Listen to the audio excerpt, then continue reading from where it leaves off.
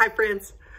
Okay, um, today I want to address something that I think that we need to understand about, you know, all that's going on in the world. Um, hmm.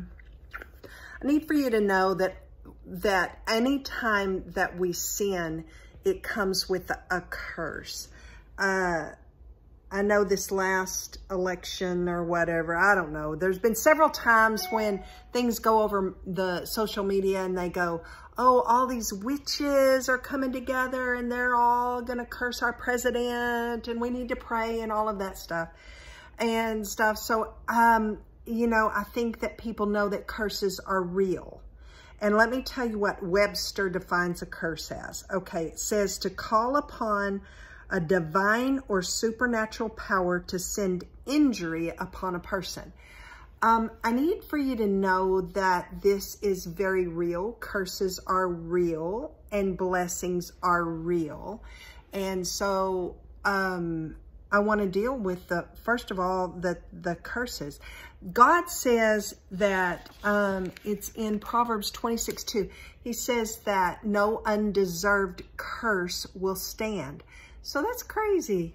Only God is the one who gives curses and his curses will stand. If somebody wants to curse someone who he has not cursed, it will not happen. When you look in, um, what is it, Numbers 22 and 23, it's a story of uh, Balaam and and this guy, Balak, comes to Balaam and says, I want you to curse Israel. And so anyway, in this prophet, he wants the money and he wants the prestige. So he wants to curse Israel, but the Lord won't let him. He said, he said, um, you know, how can you curse what I've blessed? So I need for you to understand that all curses come from God. All blessings come from God. Um, but there's some things that you need to understand. From the moment that man sinned, when you go to Genesis 3, uh, from the moment that man sinned, curse fell upon the ground for man's sake. He has to work hard all the days of his life now because the ground is cursed. The the uh, the snake was cursed above all animals. The do you know it's just the curse fell. Go to Genesis 3 and you can you can tell that. Um, today what happened was I went in and I just put in Bible Gateway and I put curse. Oh my goodness, I went all the way down all the curses. so anyway, now I'm going to address the curses. But first of all, I want you to know from uh, Deuteronomy 28 what it says. It's like, if you will fully obey the Lord your God and carefully keep all his commands that I am giving you today, the Lord will set you up high above all the nations of the world, and you will experience all these blessings if you obey the Lord your God. Blessings come with obedience, okay? Your towns and your fields will be blessed. Your children and your crops will be blessed. The offspring of your herds and flocks will be blessed. Your fruit baskets and breadboards will be blessed. Wherever you go and whatever you do, you will be blessed. The Lord will conquer your enemies when they attack you. The Lord will guarantee a blessing upon everything you do and will fill your storehouses with grain the Lord will establish you as his holy people as he swore he would do. And the Lord will send rain at the proper time from his rich treasury in the heavens and will bless the work you do. You will lend to many nations, but you will never need to borrow from them. The Lord will make you the head and not the tail, and you will always be on top and never on bottom. That's if we obey, okay? So if we don't obey, um, there's the opposite. And this is bringing a supernatural harm onto others. But this is, these are the curses that are going to fall on disobedience. If you refuse to listen to the Lord your God and do not obey all the commands and decrees I am giving you today, all these curses will come up will come and overwhelm you. Your towns and your fields will be cursed. Your fruit baskets and bread boards will be cursed. Your children and your crops will be cursed.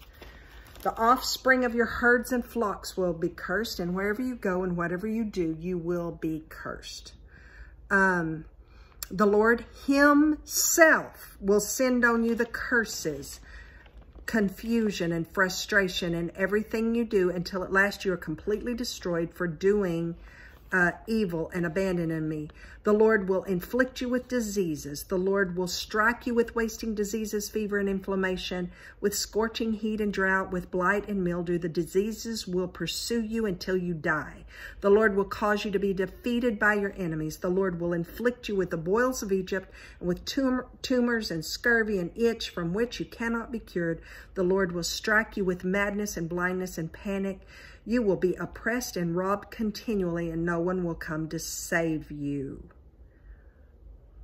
That's not all of them.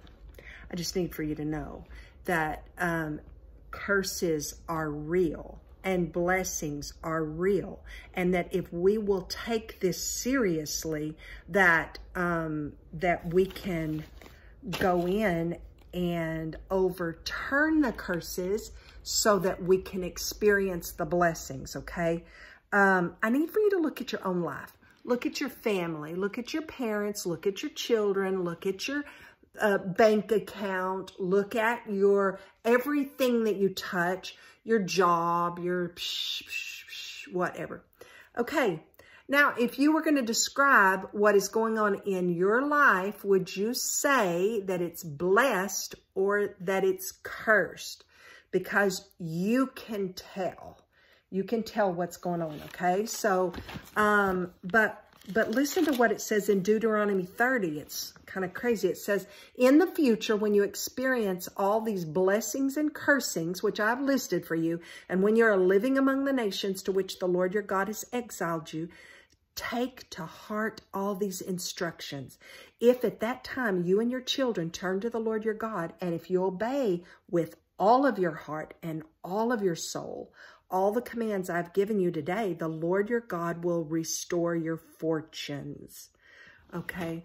That's good news. And that's what this, this whole website is about, is to break the curses, to go in and put under the blood because now we've got a very real advocate, Jesus Christ, our Savior, who has gone before us and prepared the way so that he, he became a curse for us. He broke the curse. Okay, that's a good thing. So what I'm going to do is I'm going to, I'm going to put one by one.